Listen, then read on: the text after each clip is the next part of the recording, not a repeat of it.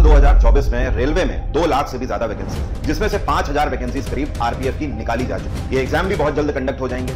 आपकी क्या रणनीति है? आपको पता होना चाहिए, आरपीएफ के एग्ज़ाम में टोटल 120 क्वेश्चन आपसे पूछे जाएँगे। 120 में से 35 क्वेश्चन मैथ के होंगे 35 रीजनिंग के होंगे, और बाकी बचे 50 क्वेश्चन सिर्फ़ और सिर्फ़ जीएस के होंगे।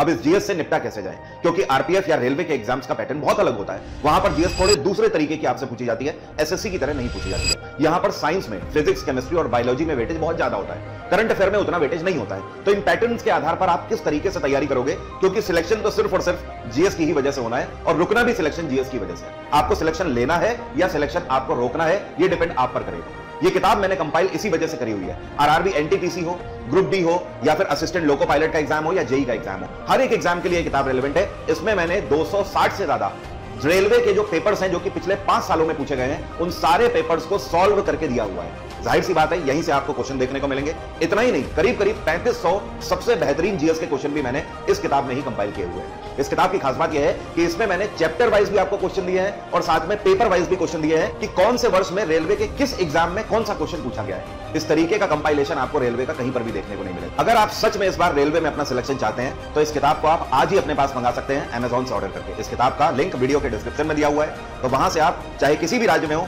घर बैठे आप इस किताब की मदद से तैयारी कर सकते हैं। रेलवे में जीएस में, इसके अलावा आपको कुछ और सोर्सेस पे जाने की ज़रूरत नहीं है। सब कुछ मैंने इस किताब में देखी नौकरी भले ही कितनी सारी हो सिलेक्शन सिर्फ़ उसी को मिलेगा जिसके पास सही रणनीति होगी। जय हिंद, जय Bharat.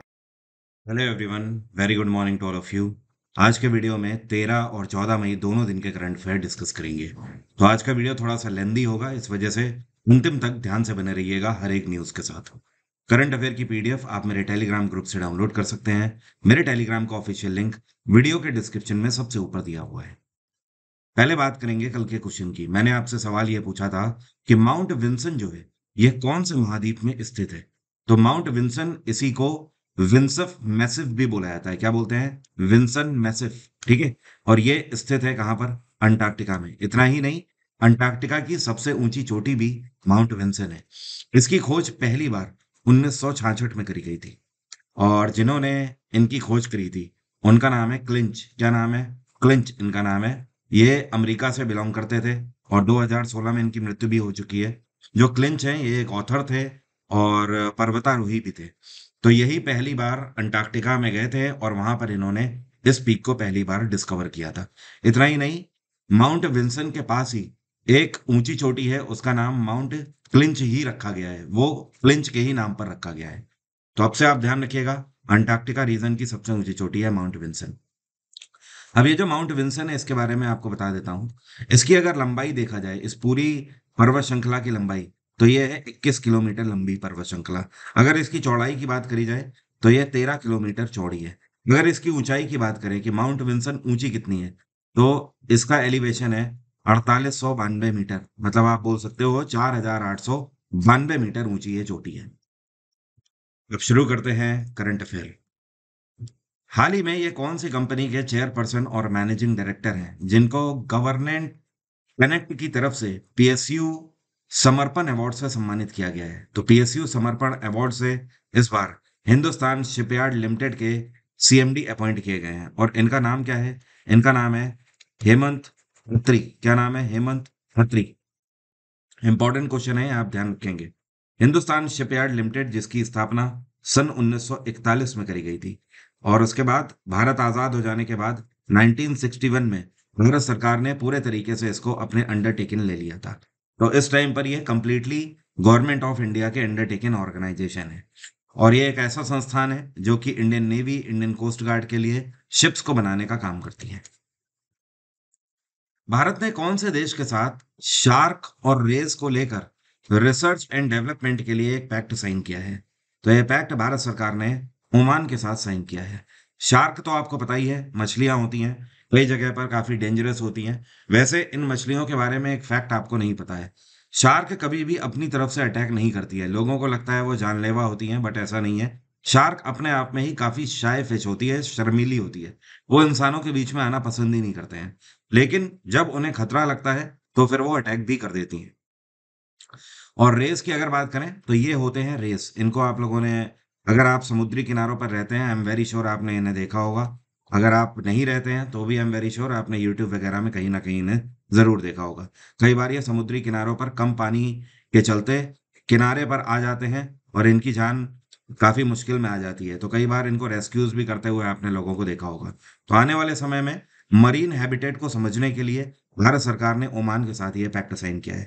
दोनों देश आपस में एक दूसरे को सहयोग करेंगे और जो अरब सागर है, वहाँ पर ये रिसर्च एंड डेवलपमेंट्स आगे बढ़ी जाएगी। ओमान की कैपिटल क्या है? इसको बोलते हैं मस्कट। और ओमान के सुल्तान है इस टाइम पे हैतम बिन तारिक। क्या नाम है? हैतम बिन तारिक। यह कौन सी कंपनी है जिसके द्वारा भारत के सारे बैंकों के साथ मिलकर डिजिटल क्रेडिट की फैसिलिटी कस्टमर्स को दी जाएगी? तो ये कंपनी है जेटा जेटा मुंबई की एक फिनटेक कंपनी है और इन्होंने फैसला लिया है कि सारे बैंकों के साथ पैक्ट साइन करेंगे। तो देखिए है क्या? डिजिटल क्रेडिट का मतलब ये है नॉर्मल क्रेडिट का मतलब क्या होता है? लोन होता है, ठीक है? मतलब उधार होता है, ऋण होता है। आज की डेट में हर बैंक लोन देता है लोगों को और बैंक ये चाहते भी हैं कि ज़्यादा से ज़्यादा लोन वो लोगों को दे सके क्योंकि ज़ाहिर सी बात है यह बैंकों की इनकम के अंतर्गत आता है। लेकिन जैसे जैसे यूपीआई का जमाना आ चुका है और यूपीआई का यूज़ लगातार बढ़ता चला जा रहा है तो आज की डेट में कस्टमर्स ये चाहते हैं कि उनका जो यूपीआई एप्लीकेशन है, आप चाहे कोई भी यूज़ कर रहे हो, चाहे गूगल पे हो, फ़ोन पे हो, भारत पे हो, कोई भी आप यूज़ कर रहे हो, सब में आपको लोन की फैसिलिटी भी मिले।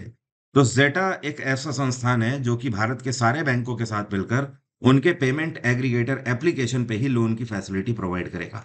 मतलब अगर आप लोन लेना चाहते हैं, आप अपने एप्लीकेशन से ही अप्लाई करिए।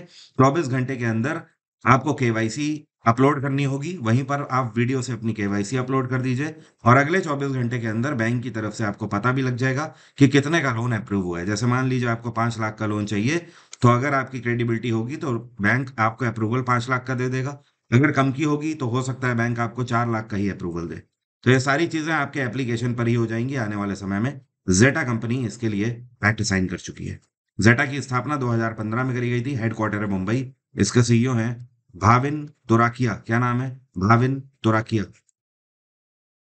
ये कौन सी कंपनी है जिसके द्वारा अंतर्राष्ट्रीय स्तर पर पैसे को भेजने के लिए एक डिजिटल सर्विस शुरू करी गई है, जिसका नाम है टीसी पे यहाँ पर टीसी का मतलब है Thomas Cook Thomas Cook India जो कंपनी है इन्होंने एक नया अपना पेमेंट सॉल्यूशन लॉन्च किया है। इसके अंतर्गत आप दुनिया में किसी भी देश में बैठे अपने दोस्त को, अपनी फैमिली को पैसे भेज पाएँगे बड़ी आसानी से। अभी तक अगर आपको दूसरे देश में पैसा भेजना होता है तो उसके लिए आपको काफ़ी सारी फॉर्मेलिटीज फॉलो करनी पड़ती है। जैसे कि बैंक में जाके आपको पेपर वर्क फॉलो करना होता है। अपार्ट फ्रॉम दिस आपको केवाईसी भी करनी होती है। इसके अलावा और भी डॉक्यूमेंट्स आपको साइन करने होते हैं। तो टीसी पे में ये सारी चीज़ें बड़ी आसानी से आपके एप्लीकेशन पर ही हो जाएँगी, घर बैठे। आपको उसके लिए बैंक जाने की ज़रूरत नहीं पड़ेगी।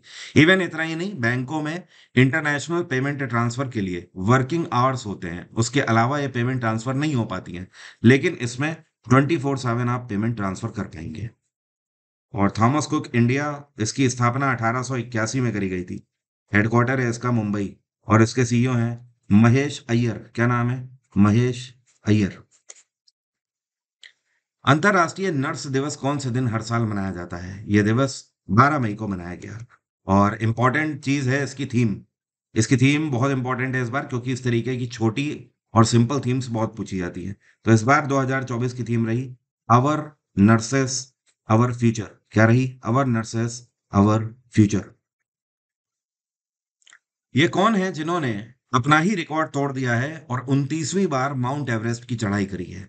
तो ये है द वन एंड ओनली कामी रीता शेरपा और कामी रीता शेरपा पिछले तीस सालों में लगभग हर साल माउंट एवरेस्ट की चढ़ाई करते हैं। इवन 2023 में तो इन्होंने दो बार माउंट एवरेस्ट की चढ़ाई करी है। और आज तक केवल अपने देश के ही नहीं, पूरे दुनिया के ये इकलौते ऐसे व्यक्ति हैं जिन्होंने माउंट एवरेस्ट को उनतीस बार चढ़ाई करी है। ठीक है? ये कहाँ से बिलोंग करते हैं? ये नेपाल से बिलोंग करते हैं। शुरुआत में इन्होंने अपना करियर जो स्टार्ट किया था उन्नीस सौ बानवे में 1992 में। उस टाइम पर जो पर्वतारोही होते थे, जो पहाड़ों में चढ़ते थे, उनको सपोर्ट करने वाले क्रू के रूप में काम करते थे। लेकिन उसके बाद उन्नीस सौ चौरानवे में इन्होंने सोचा कि मैं भी क्यों ना चढ़ के देखूँ। तो 1994 में जो इन्होंने माउंट एवरेस्ट चढ़ने की शुरुआत करी है, तब से आज तक ये रुक ही नहीं रहे हैं। इनकी उम्र करीब तिरपन से चौवन साल है। इस टाइम पर भी ये माउंट एवरेस्ट हर साल चढ़ रहे हैं। और कामी रीता शेरपा के जो राइवलरी हैं मतलब जो उनके सबसे करीब है वो आज तक सत्ताईस बार इसे चढ़ चुके हैं और इनका नाम है पसांग दावा। क्या नाम है? पसांग दावा। ये भी नेपाल से ही बिलोंग करते हैं। ये कौन सा देश है जिसने इस बार तीसवां सुल्तान अजलान शाह ट्रॉफी अपने नाम कर ली है? Sultan Azlan Shah trophy hockey में खेली जाती है और इस बार को, इसको जीता है जापान ने। जापान ने फाइनल में चार एक से पाकिस्तान को हराया है इस बार। ठीक है? तो जापान विनर रहा, पाकिस्तान रनर अप रहा है। वैसे अगर बात करी जाए तो पाकिस्तान आज तक टोटल तीन बार सुल्तान असलान शाह ट्रॉफी जीत चुका है। अपार्ट फ्रॉम दिस पाकिस्तान का इस बार की सीरीज़ में भी काफ़ी बढ़िया प्रदर्शन रहा है बट फाइनल में जापान बाजी मार गया। जो इसका फाइनल खेला गया है यह मलेशिया के अजलान शाह स्टेडियम में ही खेला गया है। इस बार छह टीमों ने हिस्सा लिया था सुल्तान अजलान में। ये टीमें कौन कौन सी हैं? जापान, पाकिस्तान, मलेशिया, तीन तो ये हो गई। इसके अलावा कनाडा, साउथ कोरिया और न्यूजीलैंड ठीक है? और सबसे लास्ट में इस टाइम पर सबसे बुरी स्थिति रही कनाडा की। कनाडा सबसे पहले आउट हो गया था और सबसे बेहतर जापान, पाकिस्तान और फिर तीसरे नंबर पर रहा मलेशिया। और जहाँ पाकिस्तान इसे तीन बार जीत चुका है, वहीं भारत इस ट्रॉफी को पाँच बार जीत चुका है आज तक। लेकिन इस बार के सुल्तान अजलान में भारत ने हिस्सा नहीं लिया था। ये कौन है जो कि मेघालय के डायरेक्टर जनरल ऑफ़ पुलिस के रूप में अपॉइंट करी गई हैं? और ये पहली महिला डीजीपी है मेघालय की। तो मेघालय में पहली बार किसी महिला को डीजीपी की पोस्ट पर अपॉइंट किया गया है और इनका नाम है इदा शिशा नोंगरांग। क्या नाम है? इदा शिशा नोंगरांग। सीनियर आईपीएस अधिकारी हैं उन्नीस सौ बानवे कैडर की। और अपार्ट फ्रॉम दिस 2021 में एक्टिंग डीजीपी के रूप में अपॉइंट करी गई थी। और अब यह परमानेंट डीजीपी मेघालय की हो गई है। हाल ही में आपको एक और अपॉइंटमेंट ध्यान रखना है। मैंने आपको पहले ही बताया था कि आरबीआई के एग्जीक्यूटिव डायरेक्टर कौन बनाए गए हैं? तो ये हैं लक्ष्मीकांत राव। ये कौन है जिनको इफ्को के डायरेक्टर के रूप में इलेक्ट किया गया है? इफ्को जिसको बोलते हैं Indian farmers fertiliser cooperative limited, पूरे भारत भर में खाद्य पदार्थों के उत्पादन में और उनके लिए जो मानक तैयार किए जाते हैं वो सब इसी संस्था के द्वारा तैयार किए जाते हैं। तो जो खाद वगैरह हैं उनके लिए सबसे बड़ा संस्थान है भारत का। इफ्को के नए डायरेक्टर अब से जो अपॉइंट किए गए हैं ये हैं विवेक कोले। कौन है? विवेक कोले। अब से ये नए डायरेक्टर होंगे। और कोले इससे पहले आ, अगर पर्टिकुलर इनकी बात करी जाए तो इनकी एक शुगर फैक्ट्री है अपनी खुद की। और वो जो शुगर फैक्ट्री है उसके अंतर्गत महाराष्ट्र, तेलंगाना और गोवा वाले रीजन में काफ़ी अच्छा कारोबार इन्होंने किया हुआ है। तो इनके बिज़नेस के एक्सपीरियंस को देखते हुए इफ्को में अब इनको डायरेक्टर अपॉइंट किया गया है। वैसे अगर बात करें तो इफ्को के सीईओ कौन है इस टाइम पे? तो ये हैं उदय शंकर अवस्थी। कौन है? उदय शंकर अवस्थी। इफ्को की स्थापना 1967 में करी गई थी। हेडक्वार्टर है नई दिल्ली। ये तो बात हो गई डायरेक्टर और सीईओ की। क्या आप बता सकते हैं इफ्को के चेयरपर्सन कौन है? तो हाल ही में ये भी अपॉइंट किए गए हैं। इनका नाम है दिलीप संघानी, क्या नाम है? दिलीप संघानी। तो यहाँ पर आपको मैंने तीन क्वेश्चन बता दिए हैं। तीनों न्यूज़ आप ध्यान रखिए। इफको के डायरेक्टर विवेक कोले इफको के सीईओ उदय शंकर अवस्थी और इफको के चेयरपर्सन जो अपॉइंट किए गए हैं यह है दिलीप संघानी। सेल तो आप जानते ही हैं Steel Authority of India Limited तो सेल का जो छत्तीसगढ़ में भिलाई वाला जो प्लांट है, इनके द्वारा कितनी कैपेसिटी का सोलर पावर प्लांट स्थापित किया जा रहा है? तो सेल भिलाई 15 मेगावाट कैपेसिटी का एक पावर प्लांट स्थापित करने जा रही है। छत्तीसगढ़ के ही दुर्ग डिस्ट्रिक्ट में। कहाँ पर? दुर्ग डिस्ट्रिक्ट में। तो ये आप ज़रूर ध्यान रखें कि सेल स्थापित कर रही है और कहाँ कर रही है। दुर्ग में कर रही है भिलाई वाला प्लांट और आने वाले समय में ये जो पर्टिकुलर प्लांट होगा, ये चौंतीस मिलियन यूनिट बिजली का उत्पादन पर ईयर किया करेगी। और इसकी मदद से अट्ठाईस हज़ार टन सीओ टू कम होगा। मतलब अट्ठाईस हज़ार टन कार्बन डाइऑक्साइड का उत्पादन में कमी आ जाएगी, जो कि पर्यावरण के लिए काफ़ी अच्छा होगा। और क्या बता सकते हैं, सेल का हेडक्वार्टर क्या है? अगर आपको पता है तो कमेंट बॉक्स में लिखकर बताइए। चलिए मैं ही बता देता हूँ, मुंबई है इसका हेडक्वार्टर और छत्तीसगढ़ में इस टाइम पे सरकार किसकी चल रही है? यहाँ पे मुख्यमंत्री हैं विष्णुदेव साई। कौन है? विष्णुदेव साई। और यहाँ के गवर्नर हैं विश्वभूषण हरिचंदन। अच्छा छत्तीसगढ़ के आप फोक डांस जानते हैं क्या? मैं आपको बताता हूँ, छत्तीसगढ़ में बहुत सारे फोक डांस हैं। एक तो यहाँ पर सुआ नाच चलता है, ठीक है? एक यहाँ का सैला नाच है जो कि काफ़ी फ़ेमस है। एक यहाँ पर है पंडवानी, ठीक है? पंडवानी नाच बहुत फ़ेमस है। कपालिक डांस आपसे कई बार पूछा जाता है छत्तीसगढ़ का। और एक है यहाँ का कर्मा नाच, ठीक है? एक पंथी भी है। ये सारे फोक डांस हैं छत्तीसगढ़ के जो आप ध्यान रखें। इसीलिए मैं आपको बोलता हूँ डेली आप पीडीएफ ज़रूर पढ़ा करिए, जो कि टेलीग्राम पर मैं शेयर करता हूँ। क्योंकि पीडीएफ में बहुत कुछ दिया होता है करंट अफेयर के अलावा भी। ये कौन है जिनको कनाडा की मैगिल यूनिवर्सिटी की तरफ़ से डॉक्टरेट की उपाधि से सम्मानित किया जाएगा? तो she is the one and only doctor Soumya Swaminathan doctor Soumya Swaminathan है कौन? वैसे तो ये इन्फेक्शियस डिसीजेस की स्पेशलिस्ट है, लेकिन इनका करियर आप ऐसा समझ सकते हैं कि 2017 में इन्होंने डब्ल्यू एच ज्वाइन किया था डेप्यूटी डायरेक्टर जनरल के रूप में। इतना ही नहीं 2019 में ये WHO के अंदर पहली चीफ साइंटिस्ट के रूप में भी अपॉइंट करी गई थी और 2021 तक इन्होंने वहाँ पर सर्व किया है। सबसे बड़ी बात यह है कि उस टाइम पर कोविड पेंडेमिक चल रहा था ओके तो इन सारी चीज़ों को देखते हुए और जिस पृष्ठभूमि पर इन्होंने काम किया, वहाँ पर सर्व किया। इसलिए अब इनको कनाडा की मैगिल यूनिवर्सिटी की तरफ़ से डॉक्टरेट उपाधि से सम्मानित किया जाएगा। ये कौन सी कंपनी है जिसको अप्रूवल मिल गया है कि ये रिलायंस कैपिटल को एक्वायर कर लेंगे? मतलब रिलायंस कैपिटल को अब ये खरीद लेंगे। और ये जो अप्रूवल है, ये एडई के द्वारा दिया गया है। Insurance Regulatory and Development Authority of India एडई एक ऐसा संस्थान है जो कि पूरे भारत भर में इंश्योरेंस कंपनीज़ के लिए मानक बनाने का काम करता है। इंश्योरेंस कंपनी अगर कुछ भी कर सकते हैं तो वो एडई की परमिशन से ही कर सकते हैं, उसके बिना नहीं। तो ये ग्रुप है Hinduja group Hinduja group finally Reliance capital को परचेज कर लेगा। और इसको ये पूरे तरीके से अधिग्रहण करेंगे। रिलायंस कैपिटल और इनके साथ रिलायंस निप्पन लाइफ इंश्योरेंस भी है। तो ये दोनों ही रिलायंस की इंश्योरेंस कंपनी है, जिनको ये खरीद लेंगे। ज़ाहिर सी बात है रिलायंस इसमें अब काफ़ी इंटरेस्टेड नहीं दिख रहा है, जिसकी वजह से हिंदुजा ग्रुप इनको टेक ओवर कर लेंगे।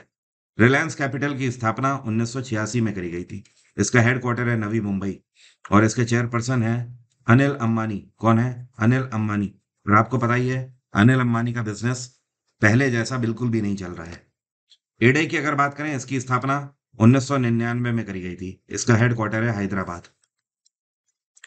आप सभी लोग ध्यान रखें, अगर आप स्टैटिक जीके में किसी भी तरीके की समस्या फेस कर रहे हैं तो मेरी स्टैटिक जीके की किताब आप आज ही अपने घर मंगा सकते हैं। किताब का लिंक वीडियो के डिस्क्रिप्शन में दिया हुआ है। हिंदी और इंग्लिश दोनों में स्टैटिक जीके बुक मेरी अवेलेबल है। साथ में उसमें 2000 से ज़्यादा स्टैटिक जीके के क्वेश्चंस भी हैं। टॉपिक पहले दिए हुए हैं टेबल के फॉर्मेट में, उसके बाद उनसे जुड़े हुए सारे क्वेश्चंस भी उस किताब में मैंने दिए हुए हैं। तो वन स्टॉप सॉल्यूशन है किसी भी एग्ज़ाम के लिए।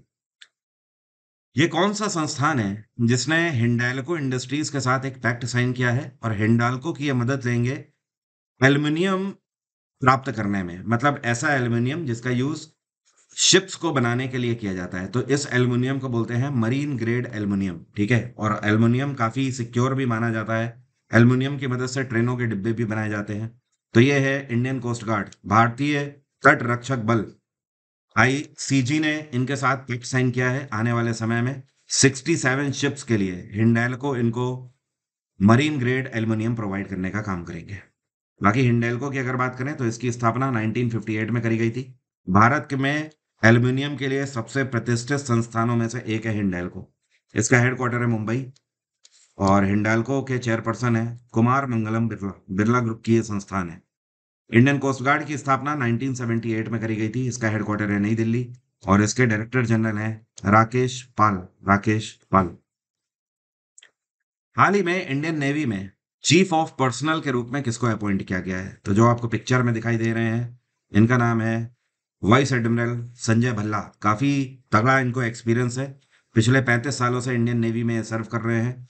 भारतीय नौसेना में एक जनवरी उन्नीस में इनको कमीशन किया गया था और तब से अभी तक बीच में इनको तीन आईएनएस का एक्सपीरियंस भी है।